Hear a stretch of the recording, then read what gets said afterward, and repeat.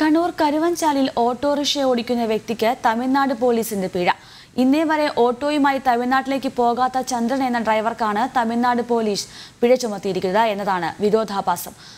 Corona കാലത്ത് കുടുംബം പുലർത്താൻ ബുദ്ധിമുട്ടുന്നതിനിടെ തമിഴ്നാട് പോലീസിന്റെ പെറ്റി കേസ് എങ്ങനെ വന്നു എന്നറിയാതെ നിൽക്കുകയാണ് ചന്ദ്രൻ.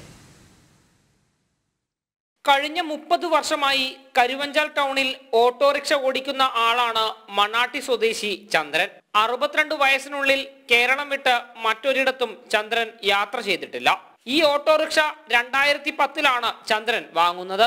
അന്നു മുതൽ ഇന്നുവരെ കണ്ണൂർ ജില്ല വിട്ട് മറ്റെങ്ങും പോയിട്ടുമില്ല. ഓട്ടോറിക്ഷയുടെ ഫിറ്റ്നസ് സർട്ടിഫിക്കറ്റ് ശരിയാക്കാൻ അക്ഷയ സെന്ററിൽ ചെന്നപ്പോഴാണ് തമിഴ്നാട് പോലീസിന്റെ പെറ്റി കേസ് വിവരം ചന്ദ്രൻ അറിയുന്നത്. തേനി പോലീസ് സ്റ്റേഷൻ പരിധിയിൽ യൂണിഫോം ഇല്ലാതെ ഓട്ടോ ഓടിച്ചതിന് നൂറ് രൂപ ഫൈൻ അടയ്ക്കണമെന്നാണ് കേസ്. ഈ ലോക്ക്ഡൌൺ കാരണമായിട്ട് സാധാരണ രീതിയിൽ എവിടെ ഓട്ടം തന്നെ ഇല്ല. മാത്രമല്ല ഞാൻ കണ്ണൂർ ജില്ല വിട്ടിട്ട് എവിടെയും ദേവരെ ഒരു ഓട്ടം പോയിട്ടുമില്ല. ട്രാഫിക് പോലീസാണ് യൂണിഫോം ഇല്ല എന്നും പറഞ്ഞിട്ട് ഒരു പെറ്റി അടിച്ചിരിക്കുന്ന രീതി.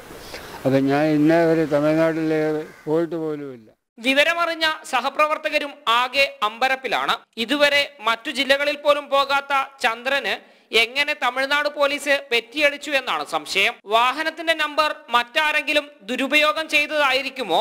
അതോ പോലീസിന് നമ്പർ എഴുതുമ്പോൾ തെറ്റുപറ്റിയതാണോ എന്നാണ് സംശയം. എന്തായാലും ചന്ദ്രനൊപ്പം മറ്റ് ഡ്രൈവർമാരും ആകെ ആശയക്കുഴപ്പത്തിലാണ്.